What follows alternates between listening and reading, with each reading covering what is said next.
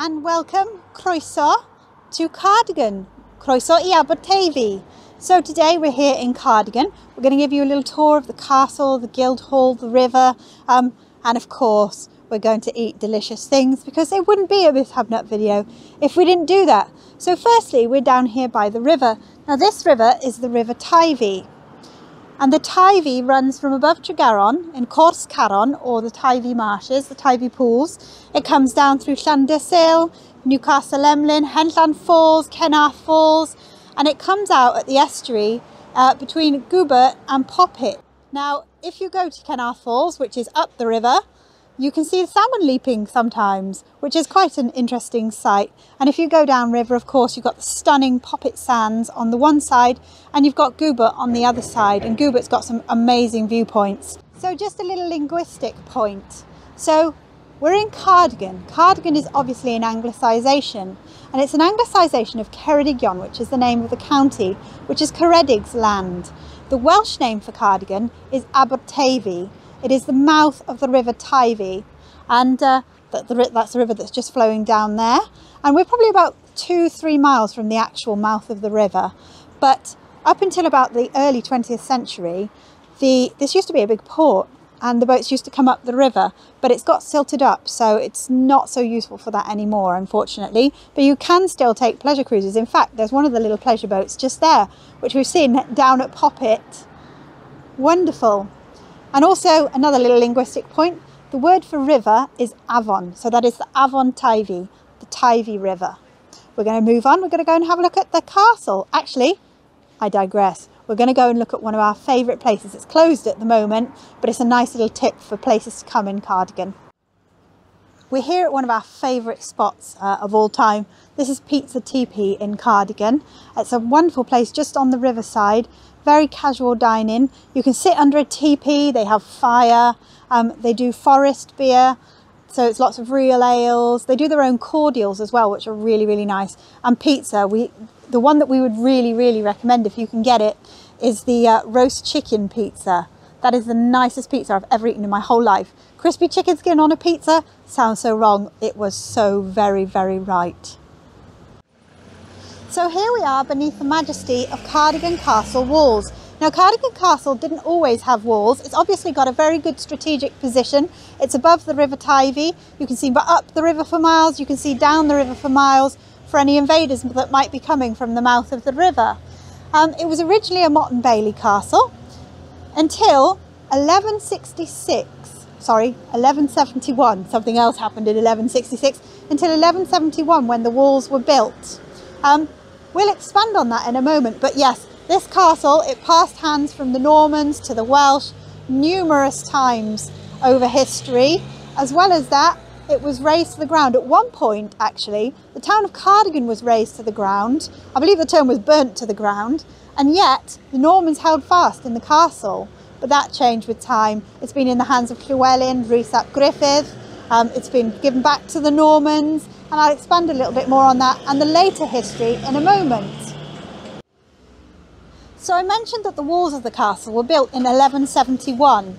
So in 1166, the castle was taken by Lord Rhys, or Rhys ap Griffith, and in 1171 he built the walls. But in 1176 he did something else of massive note to the Welsh culture. He held the very first Eisteddfod here in Cardigan Castle. So what is an Eisteddfod? If you don't know, it's a festival of song, of poetry, of dance, of music. And they're a wonderful thing that all Welsh schools hold. The most important part of an Eisteddfod is the chairing ceremony because the poet or the bard is, well, it's, it's as simple as it sounds. They're given a chair, they're seated, and there's a beautiful ceremony where they declare peace and the, the poet is, is chaired.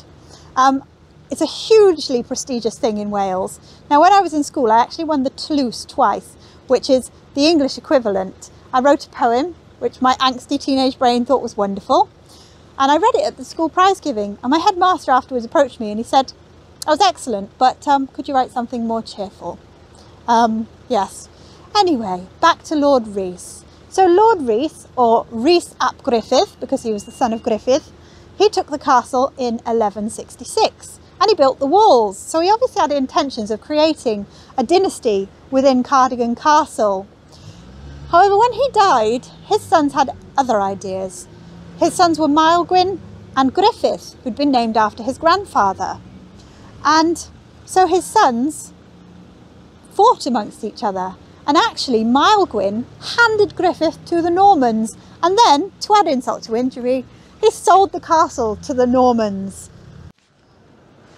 So the castle changed hands between the Normans and the Welsh and it changed in the buildings that were on here as well. But the building of note is really Castle Green House that was built in 1805 and it was built, um, it's a Georgian mansion and it still exists today. The last person that lived on Cardigan Castle site was a lady called Barbara Wood. Her father, who was a shipping magnate, bought it in 1940 and they lived in Castle Green House initially, but the house fell into disrepair as she got older and in 1996 she actually left the site and went into a nursing home. So it was left alone and there were questions as to what would happen next with Cardigan Castle. Now the current owners of Cardigan Castle are Ceredigion County, Castle, County Council. They refurbished Castle Green House and all the buildings on here. They created 1176, which is the cafe building. Um, 1176, of course, in tribute to the first Eisteddfod. I would highly recommend coming for an afternoon tea here. I have been, and the vegan tea is also exceptional. Um, you can also stay here. There is a bed and breakfast. So Cardigan Castle, the music is back because they now hold concerts and performances and so on on the grounds of the castle. So the music is back where it all began in Wales. There are lots and lots of lovely little details here in Cardigan and this is one of them. Now, Mr Hubnut has just given me a rendition of this song. This is a very, very famous Welsh song known as Calon Lan. Um, he says sing it, I'm not going to. But oh. Are there humans around? Okay. Calon lan yn llawn daio ni tec a chiwr na lilid los dim ond calon lan all gani canu'r dydd a chanu'r nos. Beautiful. That's how it goes. I'm sure people can do it so very much better than me. So you join us now outside of Crwst, which is a lovely venue that we've been waiting to visit for absolutely ages. We're coming here for brunch and donuts. I'm dieting at the moment, so donuts, I can't wait to eat these donuts. So Crwst, a little bit of history on the building. Uh, previous to being Crwst, it was Siop y which was a hardware store um, was that for about 20 years, from about 1994. And previous to that, it was actually a car showroom, which you can probably tell from the expansive windows and doors and so on. Really interesting building. Our food has arrived. Um, service has been absolutely fantastic. Attention to detail is just brilliant. Um, Ian has the creme brulee French toast there with Conti's ice cream on the top. All good. And I've got the Welsh breakfast. Um, I've got this they're beautiful bread. It is absolutely delicious. Um, they make their own baked beans, a lovely sausage, mushrooms. Absolutely delicious. I'm sorry we're not being um, overly descriptive, but my goodness me, it looks amazing and we need to eat it. So we've just had our brunch at, at Crwst and oh my goodness me, it was absolutely superb. If you know me, you know I'm a bit of a service geek. So he, Mr. Hubnut, he hates coming out with me because instantly I'm watching to see, you know, what's going on with the service. But they made sure that the venue was ready before they opened, and it was it was well worth doing so because it was just perfect. It was perfect. There were lovely bottles of water on the table. Um, the service was very quick. It was very friendly. It was a hosted service, um, and the food was absolutely sublime. I had the Welsh breakfast, which was delicious. Everything was cooked perfectly, high quality ingredients. Mr. Hubnut had a creme brulee French toast. How was that? It was absolutely amazing. I couldn't actually finish it. It was just magnificent, but very, very, very delicious. Oof. And then, because I've been waiting for them for a fortnight, I thought I'd try their donuts. Um, and the donuts, oh my goodness, a salty caramel donut. I was silent for a moment. Now that tells you, speaks volumes because I am never silent. But I just took a moment for that donut. It was that good. I couldn't even eat them. I was too full. Too much food. Well, this is testament to it. I'm dieting. I had a big Welsh breakfast and then um, I was eyeing up his halves of donuts. I didn't eat them. I didn't eat them. I might do later.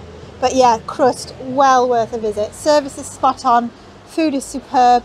They've won so many awards for their bread, and you can tell why. It's just absolutely divine. So definitely, if you're in Cardigan, come along to Crwst. Okay, so we're here outside Shire Hall, which is a very important building in the history of Cardigan. I mentioned that the castle was used as a jail. Well, this was the courthouse for 300 years from 1487. Um, previous to there being the Shire Hall on this site, there was actually a church, and I believe human remains were found when they started to build the Shire Hall. Um, there's a fantastic article online by somebody called Glenn Johnson, who I believe worked here at one point, um, all about the history of the building and also some of the trials that went on. So, when was the building built? It was built in 1712 in some form, a wooden structure, but as you can see, it's rather more significant. It's a big megalith of a building. Um, it took had a massive overhaul in 18 around 1844, and that was when the facade that you can see was created. As well as that, there is a clock on the side of the building which dates from 1844 and used to be run at a charge of £1 per year. Now, in the early 2000s, there was a lot of investment in Cardigan High Street. Shire Hall didn't have its original beauty um, at that point in time. So, on the top of the building is a cupola. I do apologise if you're an architect and I'm saying that feature wrong, but what that is is the little domed feature on the top of the building. Um, if you can go into the Shire Hall, it really is quite beautiful. You've got six Roman columns. Upstairs, there's a, Ro uh, a Roman, a stucco domed ceiling. It really is a beautiful, beautiful building, but a building with quite a dark history. Um, and I have a personal history with this building actually. My parents used to have a bookshop in this building and um, when I worked there as a teenager, I can tell you that I did not want to be the last person left in this building. And if I was unfortunate enough to be that person, I would always sit just inside the front door waiting to be picked up. Um, the stories that we were told was that a woman was sent to Australia for stealing two pieces of paper. We were told that somebody had actually been hung upstairs in the courtroom I don't know how true they are. Now, the interesting thing, having read Glenn Johnson's article, is that I think the lady with the two pieces of paper might actually come from a story of a woman who stole 24 pieces of notepaper. Um, as happens with many people, she blamed drinking too much alcohol. And they didn't actually send her to Australia, they actually sentenced her to a year and a half of hard labour. And she said, Well, I think that would kill me.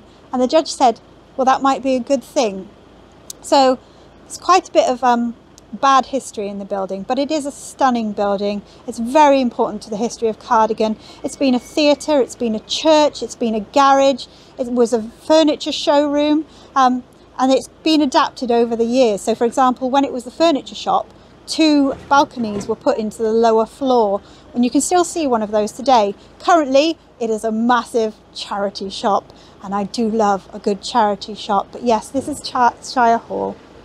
So this is Dewi James Butchers. They're in Newcastle Emlyn as well.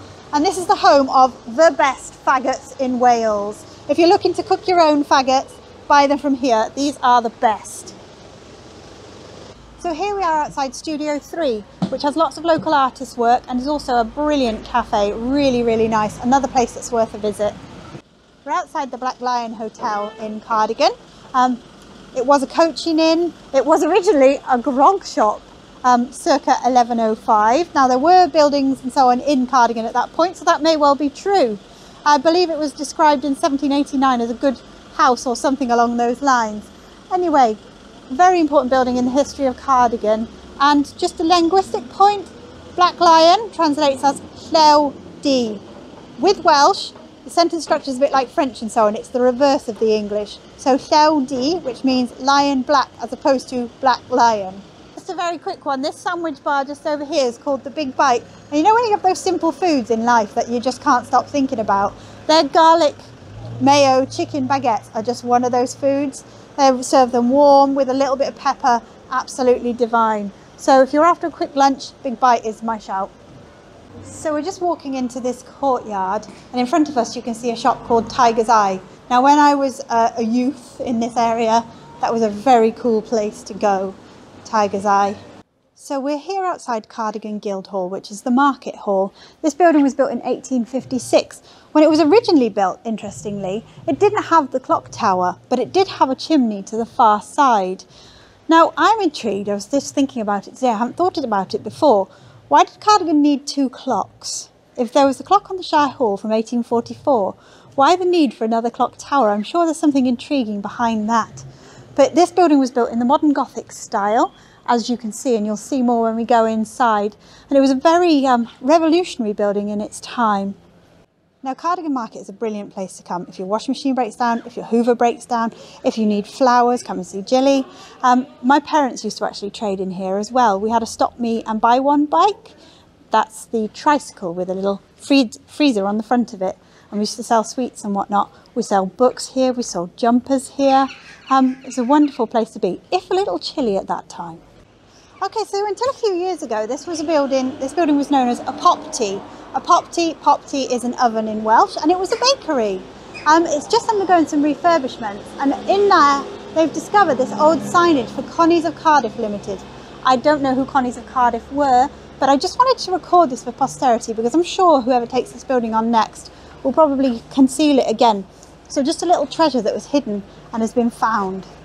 Okay, so we're now on to the bit which I'm sure the Hublets, no, I know the Hublets have been waiting for. This is Yum Yum. This is just about the best sweet shop around. It has every sweet you could possibly imagine. And it has the sourest sweets I've ever tried in my life. And Minnie Hubnut has asked for some. So we're just going to go in and get some sweeties. I can't see, but I have come out with a substantial mass of sweets.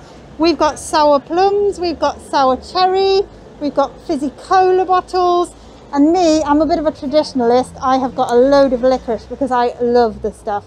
Now in a second, we're going to partake in a sour sweet. So if you're into sour sweets, these are the ones for you. The Hublets are quite connoisseurs of sour sweets. We've had sweets from America, um, they've tried the warheads and all that kind of stuff, and they've never beaten these. This is a mega sour plum. We're going to give it a go. Ooh. Oh! Oh my god. Oh, oh. Cut, cut. So I mentioned a Popty, which is no longer with us, but Cardigan has some really, really good bakeries. We've got Truly Scrumptious here, which has lots of delicious cakes. They've got branches in Aberystwyth and all over the place. Then just over the road, you've got the more traditional Queen's Bakery. Lots of delicious things in the window. I think I see a custard slice there, which is always a good thing. Up the road, you've got Cardigan Bay Brownies, which again, absolutely delicious, delicious things. Cardigan is quite a centre for lovely, lovely food. As we return to the lovely Ellie and our time in Cardigan comes to a close, just want to do a little nod to Weird Car Twitter and more importantly to chod spotting.